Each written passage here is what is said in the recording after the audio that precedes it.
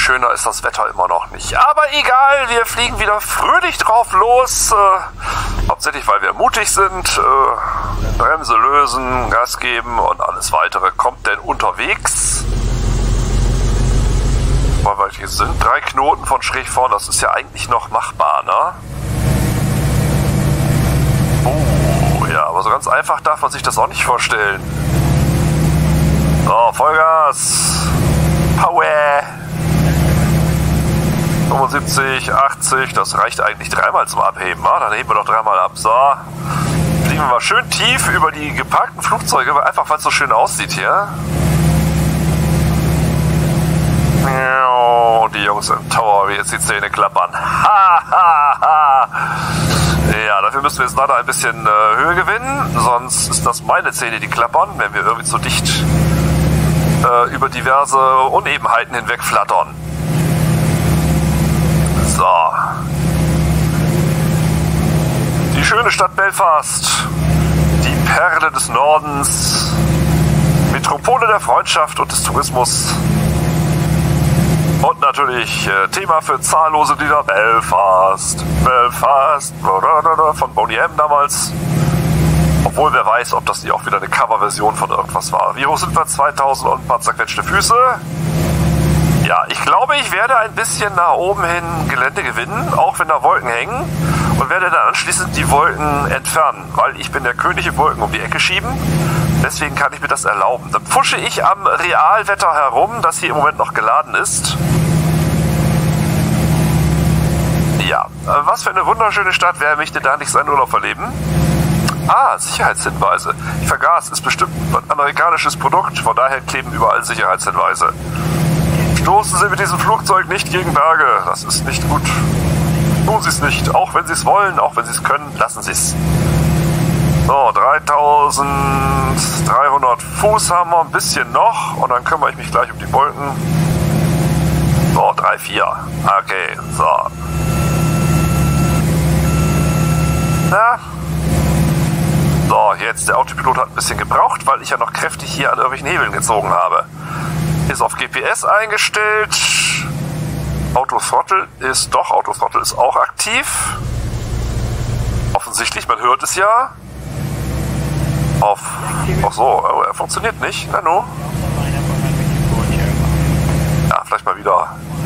Es gibt also doch noch kleinere Probleme mit dem Kram. Hardware Reconnect. Nein, nichts ohne weiteres. Also dann muss ich ihm doch mal kurzzeitig den Strom entziehen. Wieder reinstöpseln. Wenn alles ein bisschen zuppelt und zappelt.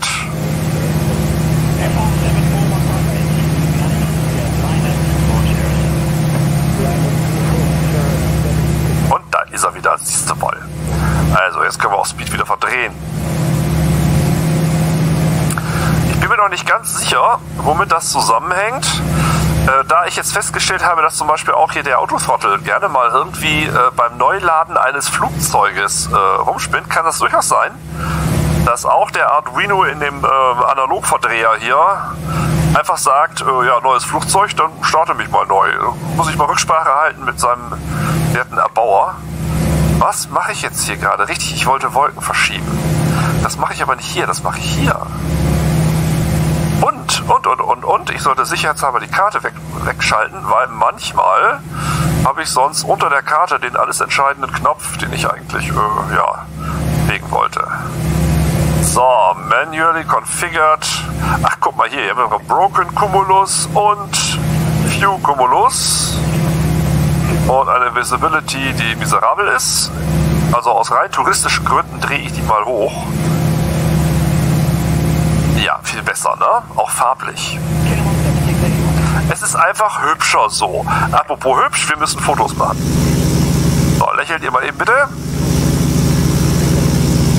Wo kommt die Sonne? Die kommt von mehr oder weniger vorne, ne? Dann machen wir mal so. Genau. Das sieht doch schick aus. So, Foto. Nein, da Foto, falscher Knopf. Falsche Tastenkombination, um genau zu sein. Mit einem Knopf gibt sich Windows ja nicht, mal, der liest doch noch ein Buch unterwegs. Aber der kommt gleich bewegen sich halt allen Ernstes die Jungs. Noch näher komme ich nicht ran. So macht doch mal Kopfschütteln. Ich finde das immer so interessant. Oder habt ihr die Animationen eingestellt? Übrigens scheinen sie jetzt andere Klamotten anzuhaben. Ne? Der eine hat jetzt kariertes Hemd an. Da ist der eine auch eingeschlafen. Das würde viel von meinen Flügen erklären.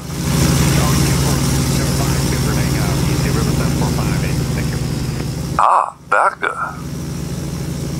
Dann werden wir auf jeden Fall erstmal jetzt wieder die, die Landkarte einblenden. Lisburn ist auf unserer rechten Seite gewesen.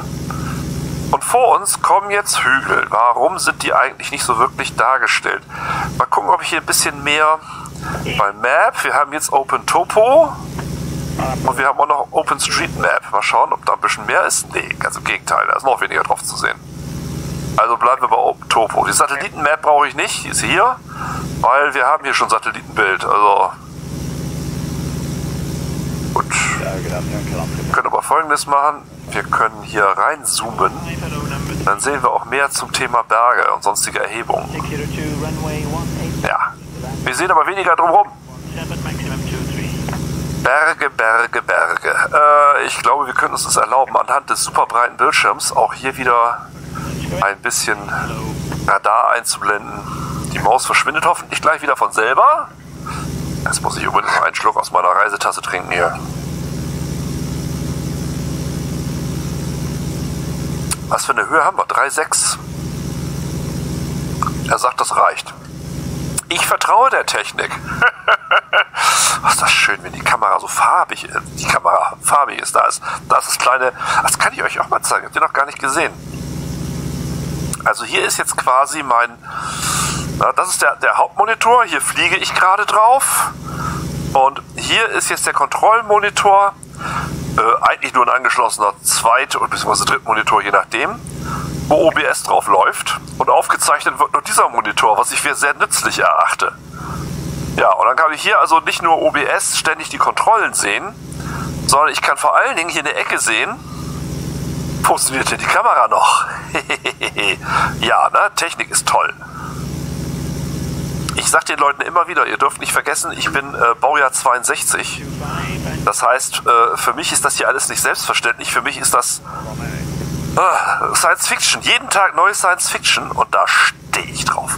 Deswegen bin ich auch so Technik-Freak und ich muss eigentlich immer jedes neue Spielzeug haben.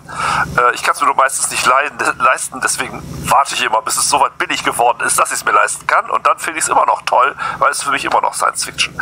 So, äh, Dublin. Wir fliegen nach Dublin. Dublin. Ein Onkel von mir, der hat früher, als ich noch klein war, wenn ich den besucht habe, da lief den ganzen Tag Dublin aus, rauf und runter. So, Dublin. Dublin. Ich weiß gar nicht, wie es. Also irischen Akzent kann ich auch mal was zu sagen. Also Scottish Accent. Ich sage mal, äh, hochbritisch, das wäre The excitement of music is right here. Äh, Schottisch wäre dann The excitement of music is right here. Und irisch äh, wäre dann The of music is right here. Wie komme ich darauf? Äh, ich weiß auch inzwischen, es stimmt nicht pauschal, aber ich habe bei Airbus mal relativ lange Zeit ähm, Arbeiter bewacht, die an einem ähm, Airbus gearbeitet haben und das sind Zeitarbeiter. Ja, es sind qualifizierte Zeitarbeiter. Die kamen aus Irland. Und die sprachen, wie ich mir Amerikaner vorgestellt habe. Also ganz viel drin. Ich weiß aber, dass in anderen Regionen von Irland eben wieder ein sehr gutturalisches Irisch gesprochen wird. Ich habe leider nicht gefragt, wo die Jungs herkamen. Aber ich weiß jetzt, wo die Amerikaner in Akzent herkamen, nämlich von den ganzen Iren, die da rumgesaust sind. Ähm, ja. Ja, also auf die nächsten 10 Meilen jedenfalls reicht es noch mit der Höhe. Dann drückt uns mal die Daumen. Da unten ist wieder ein Jahreszeitenwechsel in den Satellitenbildern links unten zu sehen. Die Berge machen mir ein bisschen Sorgen, aber ich werde ein Auge drauf haben. So, Dublin. Lokal auch du, du, Dublin, du, Dublin. Irisch, Bile, Arthur, Clive. Ist die Hauptstadt und größte Stadt der Republik Irland. Ja, nicht Nordirland, äh, Nordirland Teil des äh, britischen Königreichs, sondern Republik Irland.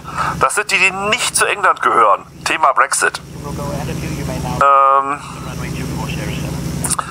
Die deutsche Übersetzung lautet Stadt an der Hürdenfurt. Der englische Name stammt vom irischen Dublin, schwarzer Teich. Okay. so, dann scrollen wir hier mal weiter runter. Dublin, Landschaft. Guck einfach aus dem Fenster, Landschaft. So, haben wir mehr darüber gelernt als alles, was ich hier vorlesen kann. Aber hier ist dies trotzdem noch ein bisschen was. Ähm, Dublin liegt durchschnittlich 20 Meter über dem Meeresspiegel. Die Liffey teilt Dublin, Dublin in den Nordteil, die North Side, und den eher vornehmen Süden, die South Side. Wobei diese Unterteilung heute weniger scharf ist als in den früheren Jahrzehnten. Bla bla bla bla, Kreuz auf dem Fluss, zahlreiche Brücken, das heißt also kleine Staus ohne Ende. Kaufhäuser, Trinity, Klima. Das ist das. Außerhalb der Stadt, also außerhalb der Innenstadt, liegen die Wohnquartiere, von denen manche noch einen sehr einheitlichen Stil aufweisen. Das klassische Arbeiterviertel Cabra besteht aus langen Reihen winziger Häuser aus Backsteinen. Marino ist ein Beispiel für eine am Reißbrett konzipierte Mittelschichtsiedlung. In Beaumont überwiegen die semi-detached Doppelhaushälften. Ah, na, also kann man prima Filme drehen. Reicht das noch? Er sagt, das reicht. Na gut, wenn er das sagt, wer bin ich, das anzuzweifeln? Klima ist vorhanden, ja. Geschichte. Na, gucken wir doch mal. Äh, die erste bekannte Erwähnung findet Dublin in den Schriften des Ptolemäus. War das nicht ein Pharao? Aus dem Jahr 140 unter dem Namen Eblana. Ursprünglich bestand die Stadt aus einer keltischen Siedlung mit dem Namen Ad Cliath, was so viel wie Hürdenfurt bedeutet. Okay, das hatten wir schon. 842 gründeten Wikinger daneben ein eigenes Dorf, das sie Deublin in etwa schwarzer Teich nannten. Aha. Nach einem von ihnen als Hafenbecken genutzten Gewässer an der Mündung des River Poddle in die Leffey. Die Machtstellung des von ihnen gegründeten Königreichs Dublin ging nach der Schlacht von Coltarf 1040 verloren, 1014 verloren. Die Stadt wurde 1170 von den Anglo-Normannen unter der Führung von Richard de Clare, klar, klar, und seinem irischen Verbündeten, oh Gott, Diamoid MacMurchada, Kom, Kakao, Manach. Wow, kein Wunder, dass ihr unten untergegangen seid. So. Äh, ab 1172 wurde Dublin das Verwaltungszentrum der Anglo-Germanen. Die Stadt hatte zu, hatte zu der Zeit weit verzweigte internationale Handelsbeziehungen zu Skandinavien, Island, Großbritannien und in zunehmendem Maße zu Frankreich. Bla bla. Bla bla. Bla bla bla bla. Bla. Die Pest kam 1348 nach Dublin und verursachte eine beachtliche Schrumpfung der jetzt überwiegend englischen Bevölkerung. Bla bla bla bla. Große Hungersnot in Irland. Ah ja. Die als große Hungersnot in Irland oder englisch Great Famine oder irisch Potato Famine oder irisch Angortamor in die Geschichte eingegangene Hungersnot zwischen 1845 und 1849 bzw. 1851 war die Folge mehrerer Kartoffelmissernten, durch die das damalige Hauptnahrungsmittel der armen Bevölkerung Irlands vernichtet wurde, aber auch der sozialen und politischen Verhältnisse. Auf der Suche nach Nahrung flüchteten immer mehr Landbewohner in die Hauptstadt. Die Hungersnot hatte verheerende Folgen für Irland, führte zum Tod von schätzungsweise einer Million Iren und zur Auswanderung einer weiteren Million, in erster Linie nach Kanada, Australien und in die USA. Ja, 1916 kam es in Dublin zum Aufstand gegen die Briten, der Osteraufstand. Ja, 1919, also drei Jahre später, etablierten irische Abgeordnete das irische Parlament und erklärten die Unabhängigkeit Ir äh, Irlands. Es folgte der irische Unabhängigkeitskrieg und darauf der irische Bürgerkrieg, der in Dublin große Schäden anrichtete. Viele der wichtigsten Gebäude wurden zerstört. Bla bla bla bla bla bla. Freistaat Irland 1922. Ah, der Status des Freistaates wurde 1937 durch die irische Verfassung, welche Irland oder Ireland beziehungsweise in der irischen Sprache Eire zum Staatsnamen und den gewählten Präsidenten Irlands zum Staatsoberhaupt machte. Bla bla bla. 1949 trat Irland aus dem britischen Commonwealth aus und bezeichnete sich offiziell als Republik. Ja, mal gut, dass das äh, Terrain Raider sagt, das passt schon. Weil es passt schon. Pigeon Rock Mountain. Sleeve Mug Rocky Mountain. Tivedokarach. Silvermead. Ethical. Sch nee, warte mal. Slivenagor. Kein Wunder, dass ich Probleme habe, den Kram zu lesen. Ha! Bla bla bla bla bla. Name der Stadt.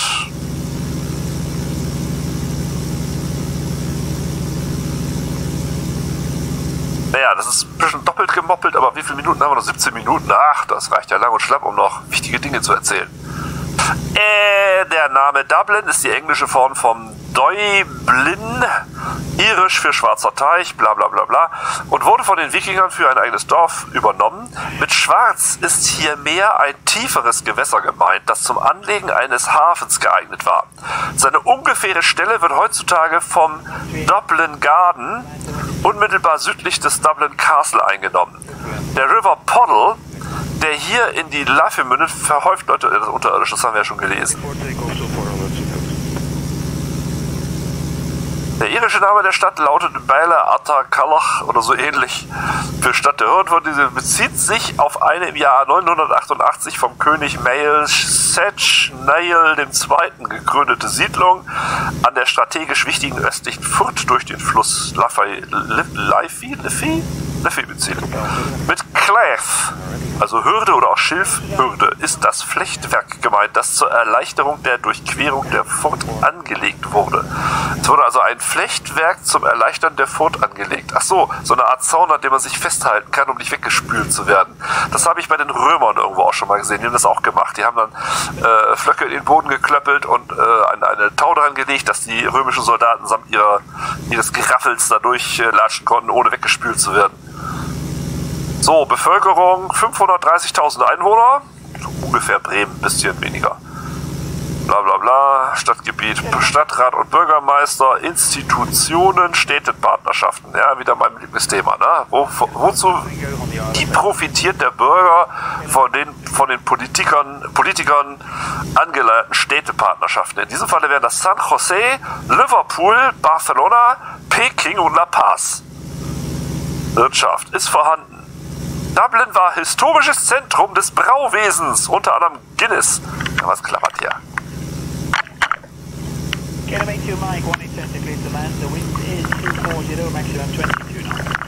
Ich lege mir vielleicht irgendwie Epilepsie zu oder irgendwie einen nervösen Tick, damit das Geknarze hier ein bisschen weniger wird. Ich glaube, das hängt auch damit zusammen, dass jetzt hier. Ich habe hier im Kabel für den Kopfhörer habe ich hier so eine Steuerbox drin, ne, mit der man so Mikrofon und, und Kopfhörer und so weiter einstellen kann. Und durch das Gewicht zieht das Kabel ein bisschen. Und wenn ich mich jetzt bewege, äh, äh, knarzt es. Im Laufe der Zeit entwickelt sich Dublin zu einem Zentrum der pharmazeutischen Industrie, unter anderem Pfizer, und des IT-Sektors, unter anderem Europa-Hauptquartiere von Google, Microsoft, Facebook, PayPal, Seigner und Yahoo. Kennt irgendjemand noch Yahoo? ähm, zuletzt gab Ende September Twitter, Ende September 2011, Twitter die Errichtung seines Europa-Hauptquartiers bekannt. Ja, warum wohl? Ja, hat, hat bestimmt nichts mit Steuern zu tun und Steuerhinterziehung. Nein! Nein, das ist, weil das da so wichtig ist. Bla bla bla. Die irische Börse, Stock Exchange ist da und so weiter und so fort. Weiterhin ist Dublin das Finanzzentrum von Irland. Viele europäische Banken, unter anderem Citigroup, Commerzbank, WestLB, LBBW, äh, Helaba und Versicherungen, unter anderem Irish Life, London Life haben dort Niederlassungen. Bla bla bla. Vier der größten irischen Fluggesellschaften haben ihren Hauptsitz in Dublin, nämlich Air Aran, Aer Lingus, CityJet und Ryanair. Und deswegen nennt man das anscheinend hier auch den keltischen Tiger. Also wie der Anspielung auf die äh, chinesischen oder den östlichen Tiger ist es hier der keltische Tiger. Der Fremdenverkehr, wichtige Rolle, bla bla bla. Verkehr, Hafen, Straßennetz. Oh, es gibt eine sehr schöne, äh, äh, sehr modern aussehende Straßenbahn. Es gibt aber auch schöne alte, traditionelle Dinger. Es gibt die zwei, diese Doppeldeckerbusse. Es gibt Bildung, Kultur- und Sehenswürdigkeiten, sehenswerte Bauten, Denkmäler, Kirchen, Friedhöfe, Musik, Theater, Musik und Ausstellungen, Park- und Grünanlagen, Dublin Literaturumgebung von Dublin Sport, Gaelic Athletic Association, Gaelic Football und Hurling. Du musst es mal nachlesen, das äh, klingt sehr interessant. Persönlichkeiten. Es gibt einen Hauptartikel, ja, sehr schön. Viele Minuten muss ich überbrücken? Zwölf. Doch sind wir dreieinhalb. Dann kann ich ja schon mal schon mal wieder Knöpfe drücken in der Hoffnung, nicht abzukacken. Mal schauen, wo wir eigentlich hinwollen. Wir wollen nach Eid.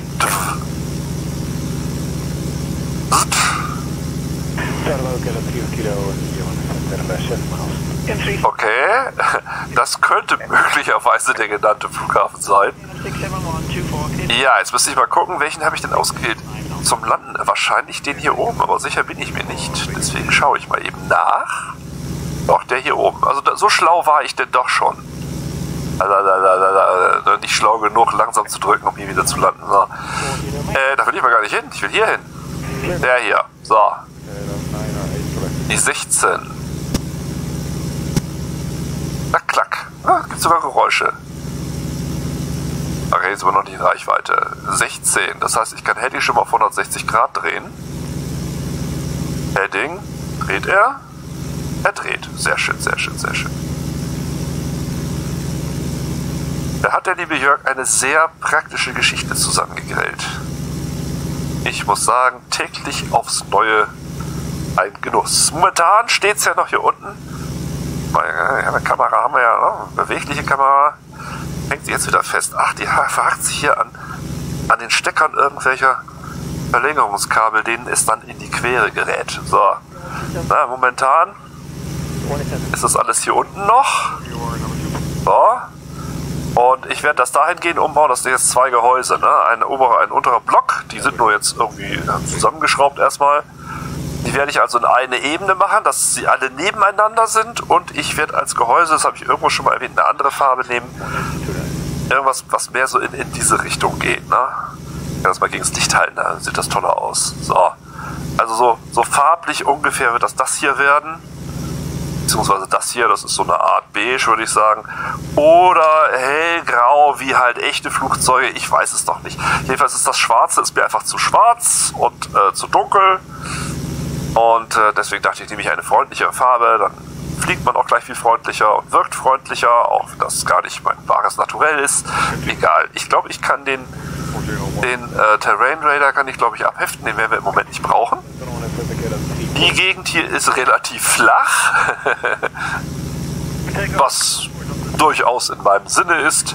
Ich kann ja auch schon mal die Radarkeulen einblenden hier. Ja, im Moment ist keine zu sehen. Machen wir uns mal größer. Ja, das passt schon noch, ne? So, dann äh, kann ich ja, um äh, Zeit totzuschlagen, nochmal eben die Liste der Persönlichkeiten der Stadt Dublin aufrufen. Aus Erfahrung mache ich es aber lieber rückwärts, weil äh, ich kenne diese ganzen Nationalheiligen hinten und vorne nicht. Wahrscheinlich ist St. Patrick auch aus Dublin. So, äh, Cursor-Tasten da. Ähm, ein Skeleton-Fahrer, Patrick Shannon, aha. Andrea Core, Leadsängerin von irgendwas. Stefan Weidner, Steven Weidner, Musikproduzent, Bassi Bassisten, Sänger und Songwriter, Songwriter. Steht aber nicht von wem. Enya, ach guck an. Ist ein Jahr älter als ich.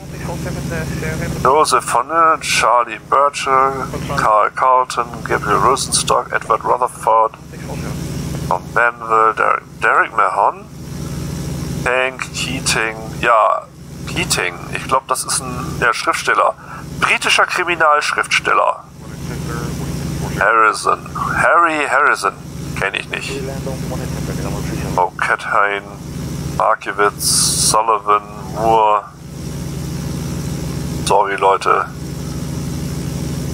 Eure Prominenz ist mir derzeit nicht gegenwärtig. So. So, so, so. Füße, alle sortieren wieder. Ah, jetzt kann ich auch mal einen Augenblick entspannen. Einen Schluck besten, bestes Manner schlürfen.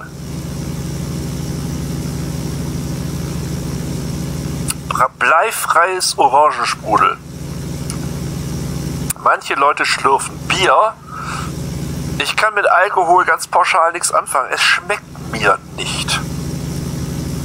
Und da ich ein Mensch bin, der sich auf seine eigenen Genüsse konzentriert, habe ich immer wieder gesagt, also wenn mir etwas nicht schmeckt oder zu teuer ist oder vorzugsweise beides gleichzeitig, dann esse, schrägstrich tinke ich es halt nicht. Dasselbe gilt fürs Rauchen. Äh, es schmeckt mir nicht. Ne? Ich habe es als Jugendlicher natürlich mal probiert. Wie ist das so rauchen? Das ist ja wahnsinnig cool. Habe festgestellt, schmeckt wie ein Laternenfall ganz unten. Warum soll ich rauchen? Man hat einen miesen Nachgeschmack, die Klamotten stinken, es kostet ein Schweinegeld. Ja, und deswegen habe ich nie geraucht. Und ja, Alkohol, wie gesagt, also es, es, gibt jetzt Sachen, ja, man kann sich Alkohol schön föhnen. Man kann da so lange irgendwie O-Saft reinkippen, bis man den Rum nicht mehr so schmeckt. Oder man kann Mischgetränke zusammenrühren, bis man sie nicht mehr schmeckt und bis man den Alkohol nicht mehr schmeckt. Aber dann mache ich das so, ich lasse den Alkohol einfach weg. Das reduziert die Kosten mindestens um die Hälfte und die negativen Folgen gleich mit. wenn jetzt jemand sagt, die positiven Folgen ist doch gerade der Alkohol, dann sage ich, nö. Wir sind, äh, ich bin also häufig in einer Runde von fröhlichen Menschen, bin ich meistens der Einzige, der nüchtern ist. Und dann wird es peinlich für alle Beteiligten, ganz ehrlich. Wenn man der ist, der nüchtern ist, dann sind alle anderen einfach nur noch peinlich. Und ich möchte es vermeiden, peinlich zu sein, wenn es sich irgendwie einrichten lässt. Ganz abgesehen davon, der eine oder andere kriegt die Kurve nicht so richtig. Und dann, naja, guck mal, das unter uns jetzt, hm, da ist ja so was Helles, ne, was ins Meer geht. Ist das jetzt Küstengewässer? Ich glaube, er definiert das als Küstengewässer, weil es eine ziemlich breite Verbindung zum Meer hat. Weil Seen und Flüsse werden normalerweise komplett dargestellt.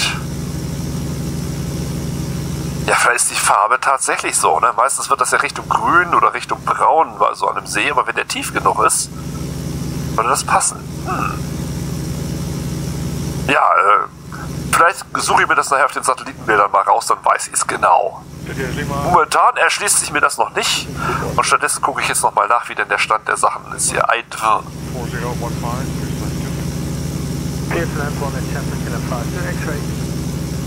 160 Grad hatte ich schon gedreht, ne? Ja. Okay, ist noch kein Eidw in Reichweite. Also sehen wir der Sache entspannt entgegen. Die Frage ist eher, wie das hier mit der Höhe aussieht. Wahrscheinlich ist hier die 3,5 und hier eher die 2,5.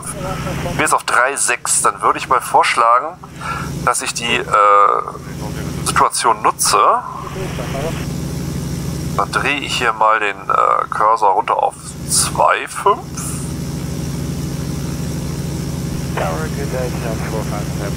So, 2,5. Ganz genau. Äh, dann drücke ich auf Vertical Speed, sage Fall mal mit 2000 Fuß pro Minute und fang dich bitte selber wieder ein. Ja, das war vorhin genau mein Fehler, nämlich dass ich nicht gesagt habe, fang dich selbst wieder ein, sondern dass ich gesagt habe, äh, steig mal. So, kritiklos steigen. Und das hat er doch gemacht. Er ist kritiklos gestiegen, bis ich es dann irgendwann bei 8000 Fuß gemerkt habe. kurz vom Flughafen. Ja, ja, ja, ja, ja. 2800 Fuß. Ach, ihr seht es ja, ne? Auf der Minimap oben seht ihr eine Höhenangabe. Ihr seht jetzt allerdings völlig andere Zahlen als ich. Ihr seht nämlich, wie es aussieht. Entweder falsche Höhenangaben wegen der, weil ich den Luftdruck nicht angeglichen habe. Oder ihr seht Radarhöhe. Weil Radarhöhe, das kommt schon hin. Da sind wir auf 1480 ungefähr. Ja, könnte schon passen. Obwohl der Rad Radarhöhenmesser zeigt eher 1400 ein paar zerquetschte, ne? Ja. Also ich tippe jetzt eher nicht auf Radar, ich tippe auf falschen Luftdruck. Also hier sagt mir der Apparillo, der sagt mir 2,5 und der Radarhöhenmesser sagt mir 1500. Jetzt muss man überlegen, wer von den beiden könnte recht haben. Naja, außerdem kann ich nur aus dem Fenster gucken und sehe dann unten, dass irgendwie alles anders ist. Und auch hier fahren sie auf der falschen Seite und quer durch Bäume, wie ich gerade sehe. Mhm. Da unten fährt ein Auto, ein winzig kleines Auto, genau unter dem Flugzeug, fährt irgendwie querbeet. Ja, ich habe ja die Straßen durchsichtig gemacht, ne, damit man die Autos nicht auf diesen super breiten, völlig unnatürlich wirkenden äh, künstlichen Straßen sieht. So, wie ist denn das jetzt mit dem Flughafen? Wie gesagt, IDW. Die IDW 16. ILS Kategorie, Kategorie 1.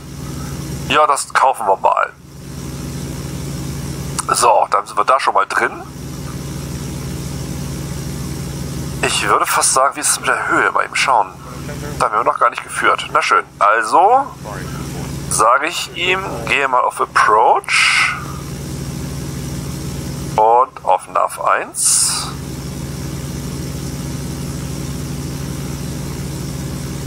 Äh, der ILS-Anzeiger reagiert bereits auf Höhe. Er sagt, wir sind noch viel zu hoch. Mal schauen, ob das noch stimmt. Ja, wir sind noch zu weit weg, als er das sagen könnte. Wir sind noch zu hoch und in der Richtung hat er noch nicht angeschlagen. Wir fliegen aber bereits jetzt nach Nav. Bin mal gespannt, ob er auf dem nächsten Waypoint eindreht. Und also dann praktisch auch den, den richtigen Kurs einschlägt. Und zwar auf den Leitstrahl. Oder ob wir umschalten müssen auf GPS, dass er den Kurs erstmal wieder aufnimmt.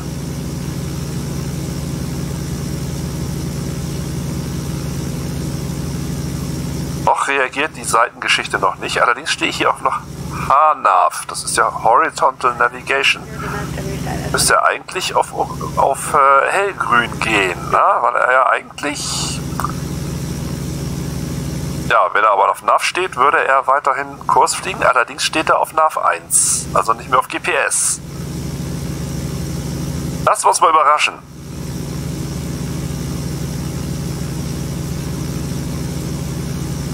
Ich habe allerdings hier Alt und Nav und Approach alle mit grünen Leuchten leuchten. So, der nächste Waypoint ist aktiv, aber doch, doch, der Zeiger reagiert. Aber hier ist noch eine rote Marke. Anscheinend heißt das. Doch, er dreht doch. Alles gut. Wunderbar. Ja, wir sind noch unterhalb. Aber warum ist hier eine rote Marke, die sagt GS? Hallo, liebe Leute, die ihr mehr davon versteht als ich. Ich frage euch einfach mal. So, Warum ist da die rote Marke? Was bedeutet die? Glideslope im Zweifel, ne? Könnte das sein? Dass wir einfach noch zu weit weg sind? Und er sagt, äh, Glideslope äh, kann ich noch nicht machen, weil wir sind noch weit deutlich unterhalb. Geht das? Kann das sein? Wäre das möglich? Ist das so? Habe ich recht? Ja, im Grunde will ich ja nur hören, dass ich recht habe, ne? Würde der Psychologe jetzt bestimmt sagen. Ich habe es noch nie beim Psychologen. Ich kann also nicht sicher sein, dass ich einen Dachschaden habe. Ich bin allerdings sicher, dass ich einen Dachschaden habe. Von daher erübrigt sich das Problem. So. Glideslope. Ich glaube, ich setze mich mal rein. Aus Prinzip, jetzt ist wieder schaukelig im Bild. So, ähm, was habe ich gesagt? Wir sind noch zu tief. Ja, und deswegen haben wir logischerweise noch kein. Na gut, dann hoffen wir mal das Beste. ich habe so meine Erleb äh, Erlebnisse gehabt. Ich war, Glideslope ist im Moment auf ähm, hellgrün, hellgrün Glideslope und dunkelgrün Altitude Hold. Ich drücke jetzt mal auf Altitude Hold einfach so rum. Ja, springt automatisch von hellgrün wieder zu dunkelgrün zurück. Das heißt, er wartet jetzt einfach noch darauf, dass er irgendwie in die Nähe kommt. Ne? Sehen wir schon was? Ich, ja, irgendwas Dunkles ist da, aber so sicher bin ich mir nicht. Wir haben Seitenwind von 11 Knoten. Da haben wir die Richtung gerade korrigiert. Ah, jetzt wandert auch die Nadel. Ah, ich kann euch hier immer hin und her schleppen. Jetzt wandert die Nadel des äh, ILS-Anzeigers nach unten und müsste dann irgendwann in der Mitte in den Gleitslope übergehen. Mal schauen. Ich weiß, das große Bild dreht jetzt gerade durch. Das nicht daher, dass ich den Kopf so weit gedreht habe. Also sonst weiß ich ja nicht. Ah ja, siehste? Ha! So, jetzt fängt die Höhe bestimmt noch an zu fallen. Ah! So. Ist das Fahrwerk draußen? Jawohl, zwangsläufig. Ist die Geschwindigkeit zu hoch bestimmt?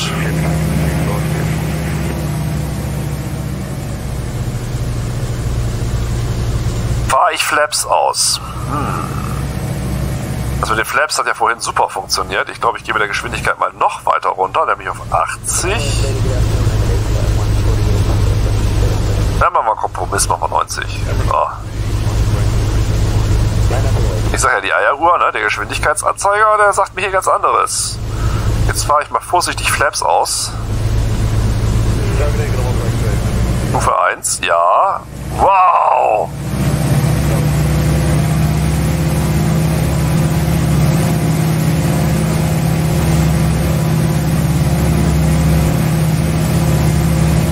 Gleichzeitig zieht er den Motor hoch, um die Geschwindigkeit zu halten. Das ist natürlich bescheuert.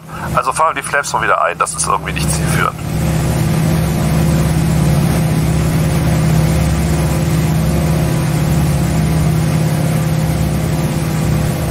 Oder ich bin für Flaps maßlos zu schnell. Das werde ich ein andermal probieren. Nicht, vielleicht nicht gerade jetzt.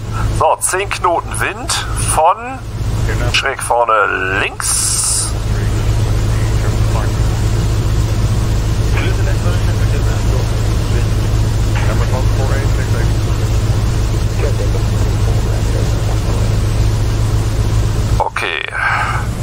Autothrottle aus, Autopilot aus.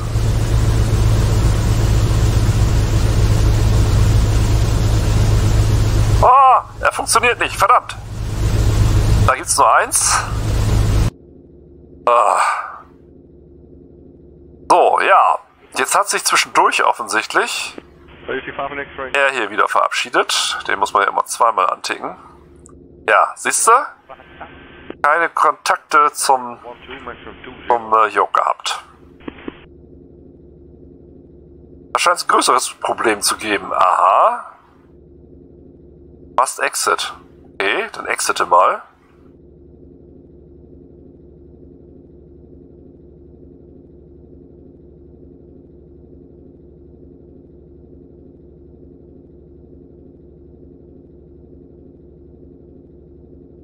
Erst muss man warten, ob er auch wirklich Kontakt kriegt. Dann werden die beiden hier oben nämlich grün, genau. Dann kann man ihn hier wieder grün machen. Und damit sind wir wieder im Geschäft. Jetzt wird's interessant. Muss ich praktisch aus dieser Situation heraus noch auf die Landebahn hüpfen. Wie schnell ist die Maschine? Schnell genug. Also ich ziehe hier sicherheitshalber schon mal dran. Und los geht's. Oh.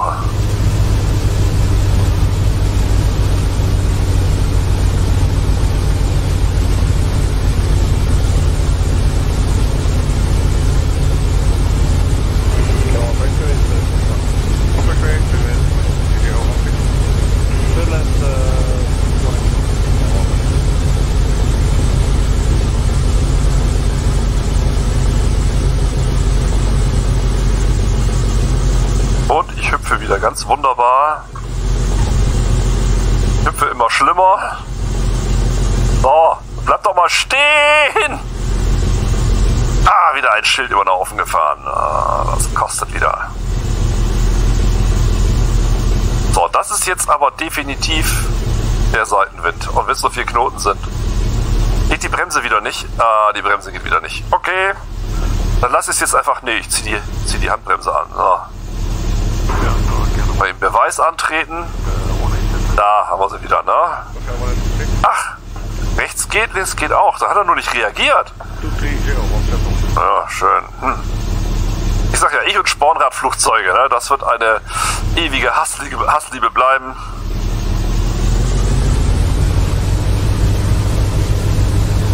Oder ich muss mit dem Internet irgendwo mal ein, äh, Kurs reintun.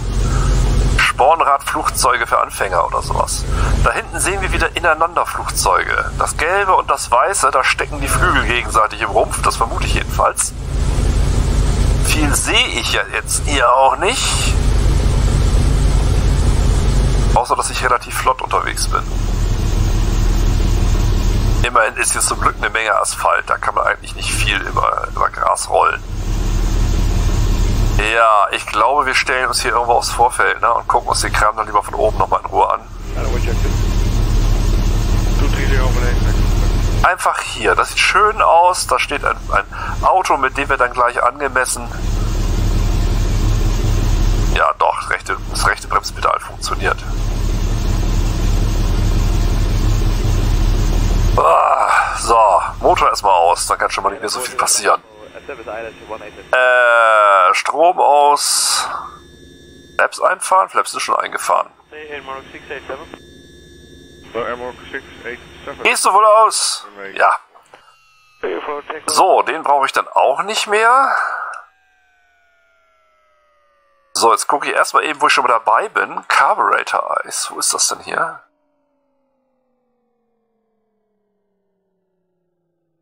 Da bin ich über so einer Grenze dessen, was das was die Kamera äh, für äh, Headtracking mitmachen kann. Oh, Primer, da ist Mixture und Propeller, Carburetor Heat, Pull. Ja, siehste, habe ich doch richtig geraten. Und was war noch das andere, was ich wissen wollte? Richtig Flap-Geschwindigkeiten. Mal gucken, ob das hier irgendwo steht. Da hinten ist zum Beispiel irgendwas. Ne, ich mache das Headtracking mal eben aus. So, und dann können wir nämlich hingleiten. Das ist dann alles sehr viel einfacher.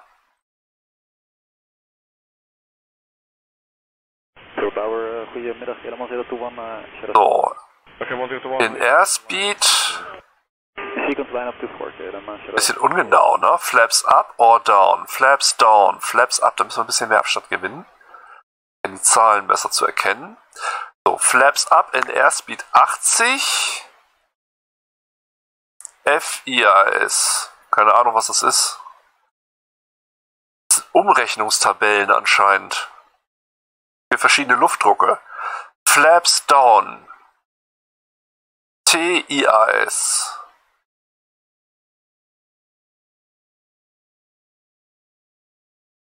Ja, das sind aber vernünftig, das sind Zahlen. Also, mit Flaps down und Flaps up or down das heißt, es gibt anscheinend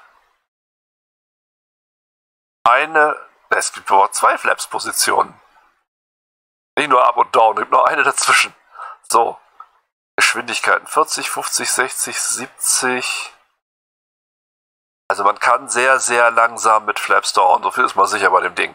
Nun gut, äh, gucken wir wieder dahin. Ein paar neue Gerätschaften sind ja auch eingebaut muss hier meinen Namenszug noch irgendwo hinkleben. Ne? Ich habe ein paar Aufkleber, die packe ich mir dann hier irgendwo hin. Schauen. Aber nicht auf diese schönen alten Bakelitzahren. Vielleicht auf die, auf die Steuersäule in der Mitte. Ja, mal sehen. Oder hier irgendwo oben schräg in die, unter die Schrauben da. Mal gucken. Irgendwo, irgendwo papp ich's hin. Aufkleber. So, äh, dann gucken wir nach draußen. Gucken in die Runde. Ganz rund. Wo wir da gelandet sind. Ja, in Dublin. Ich weiß, wo wir gelandet sind. Also so viel weiß ich gerade noch. Ja, da ist auch richtig Betrieb. So, das Doppelflugzeug war gar kein Doppelflugzeug. Das ist alles völlig richtig. Sehe ich hier irgendwo Doppelflugzeuge? Ich habe jetzt X-Live zwar als Plugin installiert, also es wird beim Start geladen, aber ich starte es nicht gesondert. Wenn man es startet, sorgt es nämlich für ganz speziellen nach äh, Flugplan gestaffelten Flugverkehr auf dem Feld. Ihr seht, hier bewegt sich jetzt nichts. Das sind also alles nur Deko-Flugzeuge. Aber es sind wenigstens Flugzeuge da. Oh, da hinten sind noch mehr. Das sind bestimmt alles die abgestellten 737-800. Äh, 737 8 Dash 8 X Max 8 Max 737 Max 8 oder so. Also wir verstehen hier viele Flugzeuge in der Gegend rum und das finde ich viel besser, als wenn man so auf menschenleeren Veranstaltungen aufschlägt. Gut. Vielleicht sollte ich das, genau, wenn ich die Kamera aus habe, dann deinstalliere ich das Plugin mal eben kurz und dann gucke ich mir denselben Flughafen nochmal an Und schauen wir mal weiter, ob die Unterschiede wirklich so groß sind. Also hier ist ja wirklich kaum ein freier Platz. Sehr interessant. Vielleicht mache ich da ein extra Video von. Das ist eigentlich eine super Idee. Genau dasselbe werde ich jetzt tun. So, vielen Dank fürs Reingucken.